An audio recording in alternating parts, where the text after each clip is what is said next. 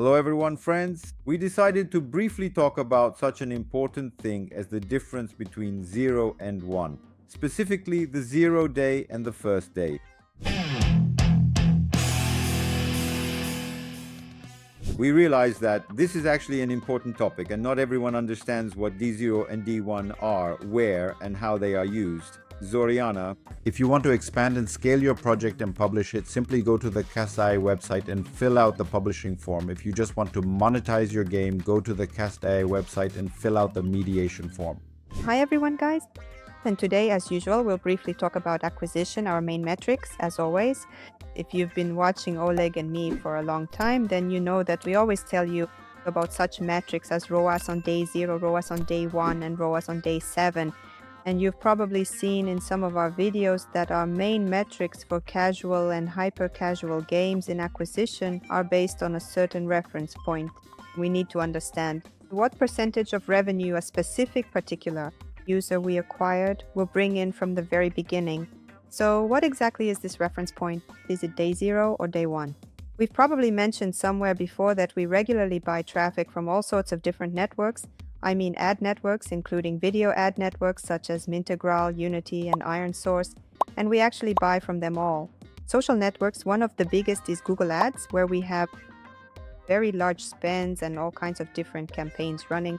So let's talk for a moment about how they differ. AppMagic, this is one of our partners that helps us analyze games in detail, as well as purchases and SDKs.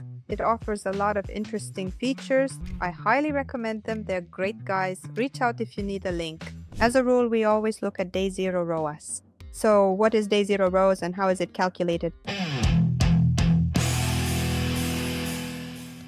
For example, if a user installs the game today at 11:45 p.m., plays for 10 minutes, takes a break and then has a second session at 12:05, but now it's after midnight, is the revenue they generated considered day 0 or already day 1?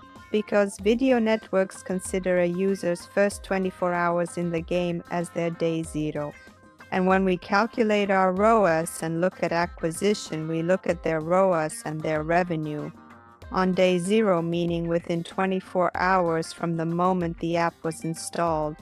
It was considered anyone who knows and has independently launched ad campaigns in Google Ads knows that it's not possible to run ad campaigns for day zero. There, you can only conduct ad campaigns for day one, day one. So, what does that mean? If day zero is 24 hours, does that mean day one is 48 hours? No. There's a small hidden catch here because Google actually calculates things both theoretically and practically the same way as networks do. They just call it something different. So if you're calculating day zero growth for networks and day one for Google, it's actually the same metric, just named differently. So please be careful when you're launching ad campaigns for your business.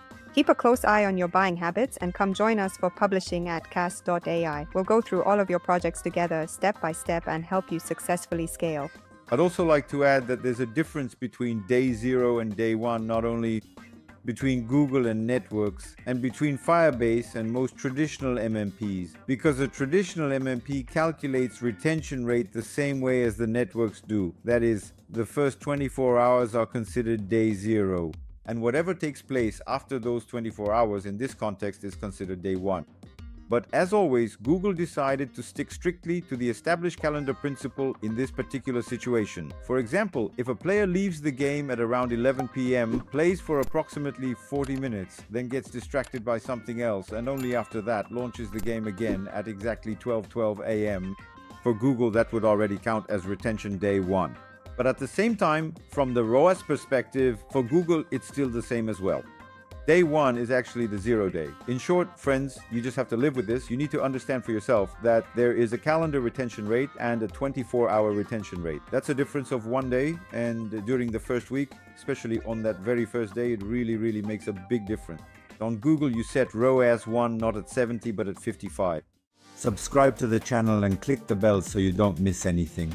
Monetization case studies from mobile games.